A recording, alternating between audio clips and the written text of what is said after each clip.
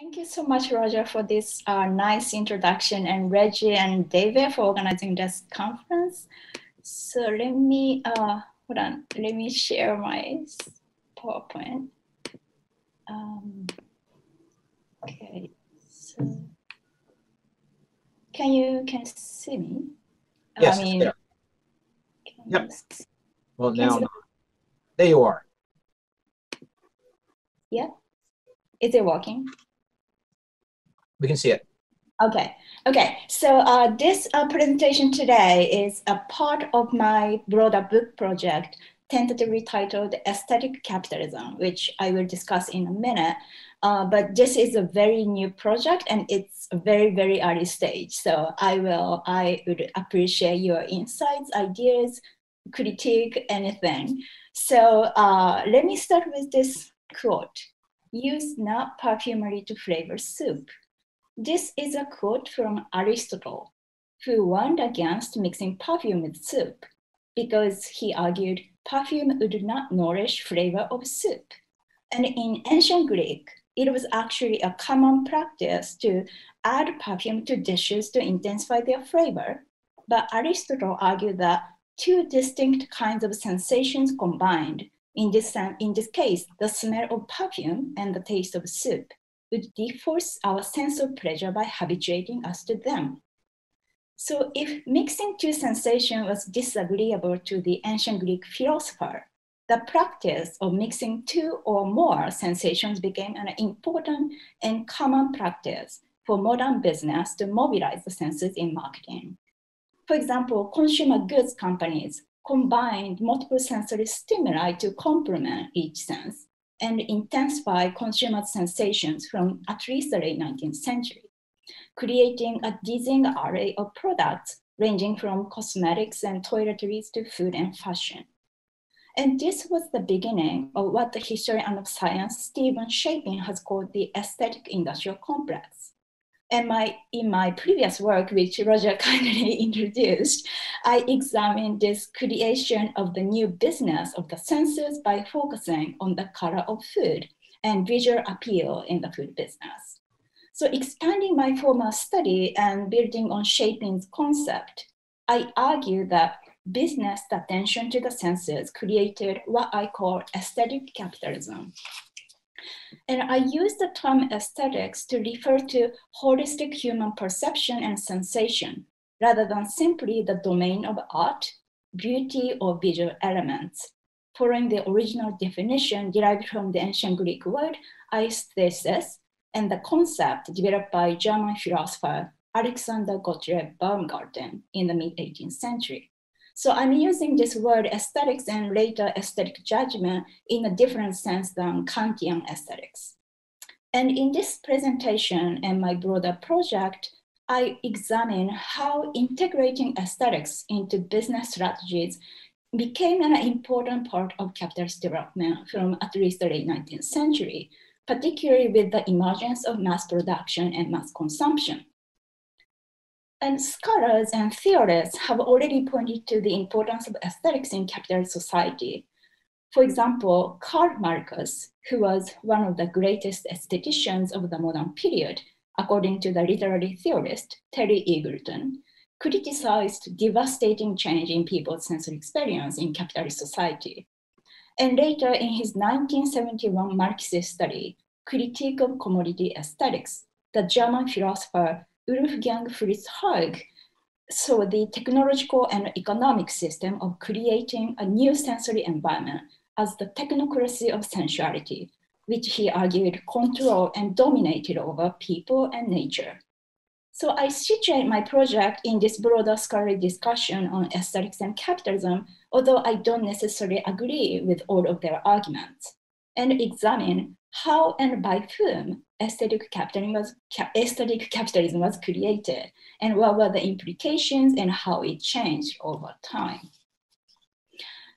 And this importance of the sense of business has generated scholarly attention also among marketing scholars. And over the last decade, management scholars, mainly at business schools, have identified the surging interest in what they call sensory marketing among marketers in many different businesses. And these are some of the examples published by marketing scholars concerning sensory marketing. And according to one of the pioneers in this field, Aradhana Krishna, the decades between the 1940s and 60s was what she calls the no-nonsense era, when most business ignored sensory aspects of products. And the following 1970s was the era when the brand name became more important than other aspects of products. And they argue that only in the 2000s, finally marketers started paying attention to the senses. And these scholars also argue that appealing to the senses was a means to elicit deeper, more personal experience for consumers with their products, brands, and services. However, if we look at sensory marketing from a longer and broader perspective than what marketing scholars have conceived, this marketing strategy appears to offer a different view. And I use the term sensory marketing as a business strategy to appeal to consumers' senses by investigating, creating, and promoting sensory aspects of product, which encompasses not merely the advertisement and selling of goods, but also product research and design. And based on this definition, I argue that first, historical evidence suggests that sensory marketing is not a recent phenomenon, but also a long history, at least over a century since the 19th century. And also secondary and more importantly, at the birth of sensory marketing, its objective was not necessarily the creation of personalized experience, but the depersonalization of consumer experience. So for this presentation, as a way of understanding part of the rise of aesthetic capitalism, I will briefly explain how sensory marketing broadly conceived helped to depersonalize consumer experience by focusing on so-called sensory science. So what is sensory science? And my fellow presenter, Ingmar, will talk about sensory science uh, much more in detail later for his presentation. But this uh, here is a, a, relatively widely accepted definition of sensory science. So in a nutshell, it is scientific research on sensory aspects of products, including food, as well as other consumer products, such as uh, cosmetics. And this was, uh, in a way, the aesthetic judgment of products by identifying the right or marketable color, texture, flavor, and taste, which consumers would accept. So through scientific knowledge and technology, scientists try to develop a standardized and systematic way of understanding sensory qualities of products. And by doing so, I argue that sensory science and also scientists help to depersonalize consumer experience through standardization, acontextualization, and the de-skilling of consumers. So let me explain one by one just quickly. So first, standardization.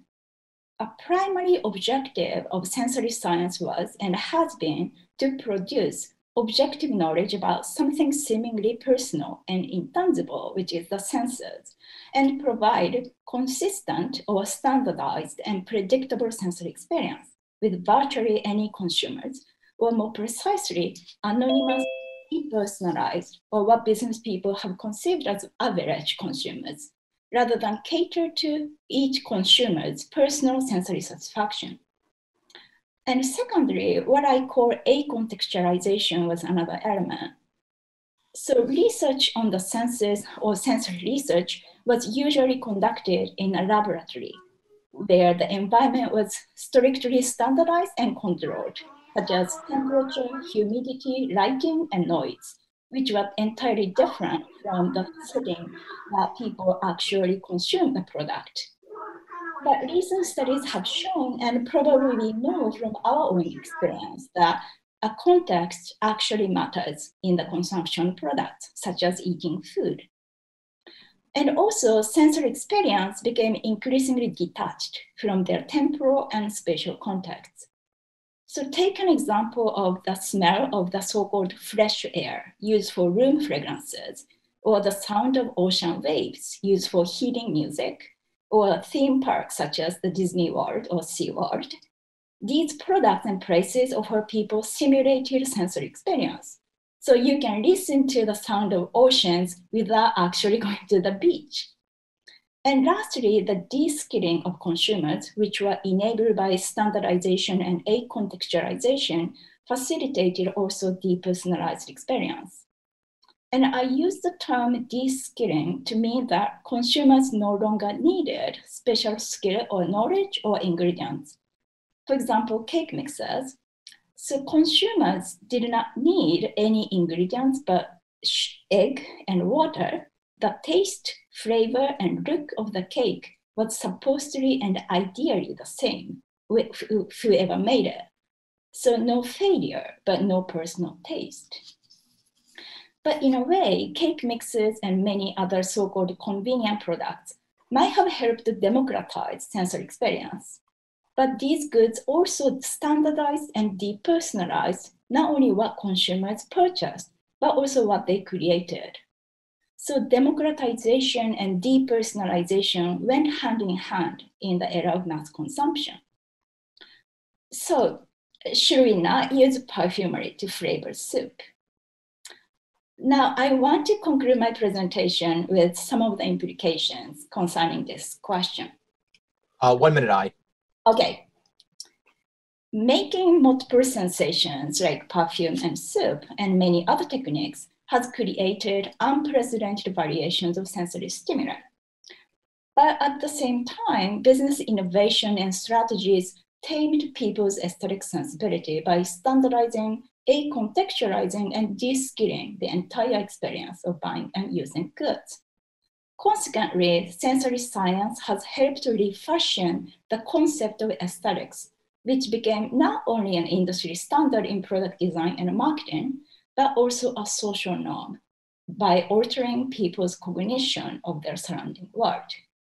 So now lastly, what's the point of asking this kind of question about perfume and soup and what's the point of analyzing all of these and i think by unveiling various dis, uh, different kinds of consequences and implications and also by exploring technology and the economy in relation to politics culture and ethics for example a history of capitalism and the senses which we are discussing over the next two days may be able to bring sensory experience back to the personal.